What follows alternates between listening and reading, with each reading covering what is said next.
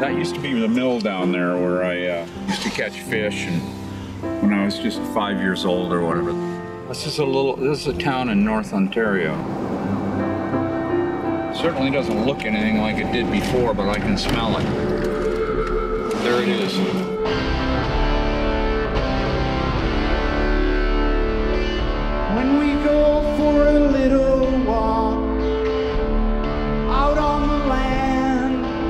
I lived in this pup tent out here during the summer so I could be out closer to my chickens. I feel your strength. I think that's why I was out there. My dad, of course, was very famous in Canada because he was a great writer. I never let you down, no matter what you And this is the school they named after my dad. They're widening the road, the trees are gone, and the golf course across the road is being converted to a subdivision.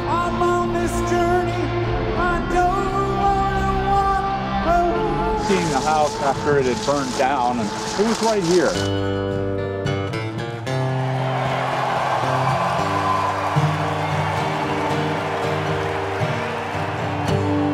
Rock and roll is here to stay. This is beautiful.